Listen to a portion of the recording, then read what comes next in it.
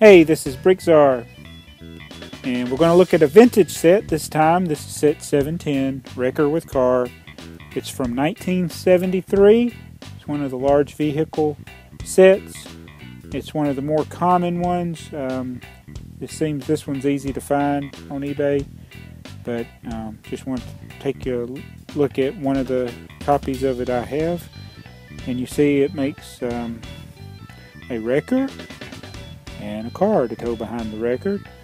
And I'll show you these up a little, little closer.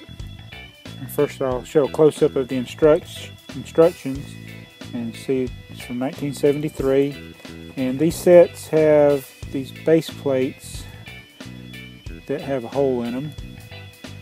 This is a 5 by 6 with a hole and then on the top of it, I turn it over. Oh, there it is. Sorry. This is a another 5 by 6 and it has a hole in it and you stick the uh, the rod that holds the uh, wheel piece and then you turn it and I'll show you. So here's the wrecker and it has working steering. Now you got to push it down to steer it and I'll show you why because if you force it you can break this little pin and I'll go ahead and take this off. Is how it works. The, the rod goes all the way through the vehicle out the bottom like that. And that's your steering mechanism. And on on this thing there's the two little pins there and that helps you lock it into position.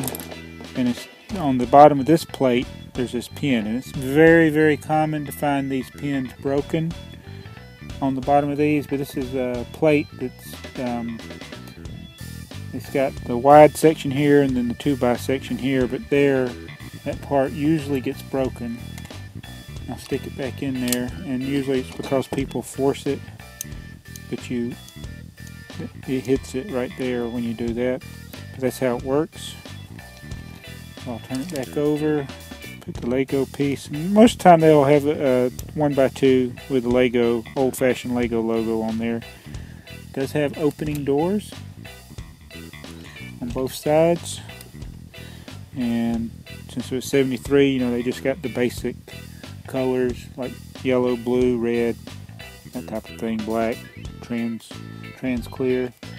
On the front it has the grill, which is just a black print, no stickers on any of this. And here's the working lift. It's just an old black string tied to a hook and lift it up like that.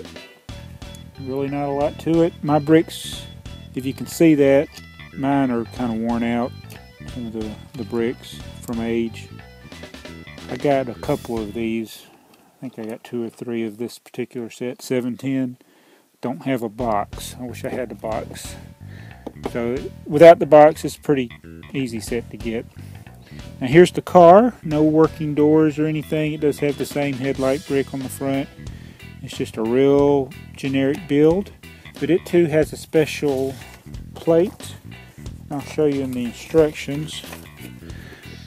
See, it's got a cutout pattern on that plate. So that's pretty unique um, for these sets. So they don't make plates like that really now. So most of the building large vehicle sets had these special plates with the hole in them or the cutout pattern. So there you go. That's basically all there is to it. I really think these are more for displaying than playing with. They're almost like a model trying to turn it. Oh, it turns back on its own. That's what it does. Okay.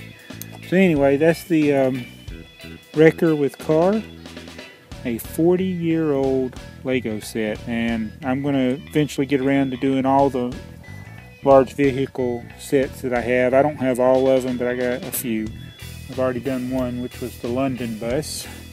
So now we're doing the Wrecker with Car. So I just thought I'd show, show you an old vintage set, the Wrecker with Car, set 710 from 1973. Thanks for watching Brick